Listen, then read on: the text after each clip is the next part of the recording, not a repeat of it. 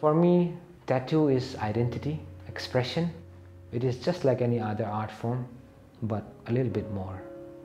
The experience of traditional tattooing now is very powerful because I use these symbols and I use these designs and I use this medium as a language to tell stories. Stories about my ancestors, their philosophies, their beliefs, their way of life, their aesthetics.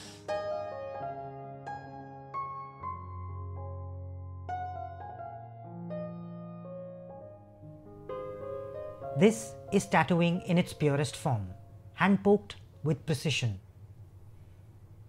Moranngam Khaling, popularly known as Mo Naga, is one of India's most prominent tattoo artists.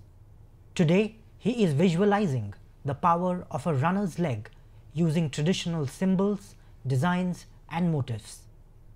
The 37-year-old is on a mission to resurrect the disappearing tattooing traditions of the Naga communities from the northeast of India. My clients are culturally sensitive, artistically curious people who are looking to express. It is a constant navigation between the person because he brings something and then I also have to share and we work with it and try to articulate and try to make sense of it through ancient knowledge, through ancient wisdom and through ancient storytelling. So it is beyond the tattoo. It is a journey that I take together with the person.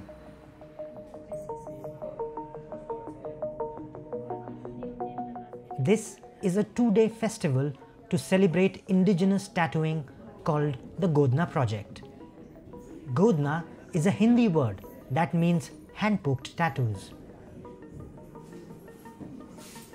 And Manglabai Maravi is one of its foremost exponents. She has travelled over 1000 kilometers from the central Indian state of Madhya Pradesh to be here in New Delhi to showcase her art. She has been tattooing the Baiga and Gond tribes since the age of seven. उनके जाति की पहचान है, वो अपने आभूषण समझते हैं, अपने श्रृंगार समझते हैं, गहना समझते हैं।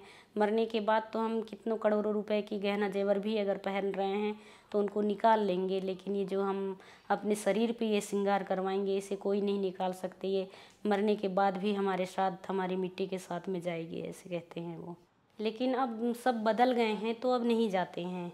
क्योंकि अब तो ना माथे में करा रहे हैं और ना ही शरीर में करा रहे हैं। कौन पूरे शरीर को काला काला कराएगा? हम नहीं कराएँगे।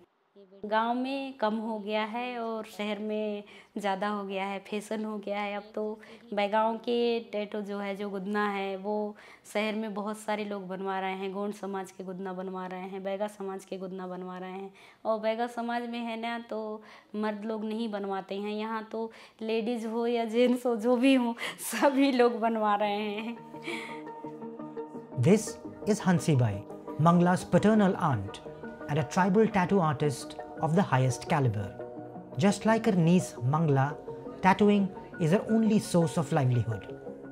The designs and motifs drawn by these tribal tattoo artists are primarily inspired by the natural world and are inked with natural materials.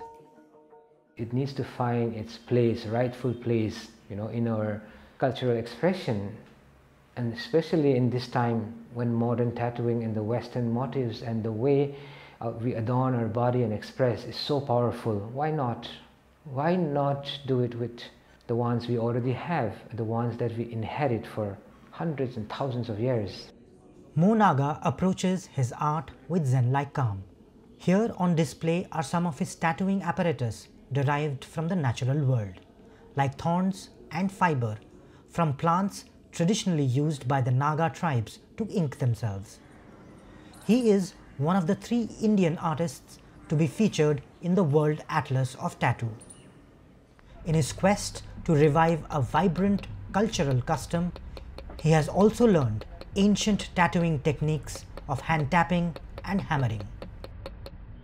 The way we tattoo is called hand tapping, where we use two sticks the needles are tied together and fixed to one of the stick and the other stick is used to tap the needles into the skin, you know, pushing the pigment inside. The Neo Naga Tattoo Revival mission is an ongoing process. But for Mo, each artwork in itself is a step closer to his dream. So I am always a blank slate. I am there to absorb. I am like an empty vessel. I always expect uh, some magic to happen, that's all.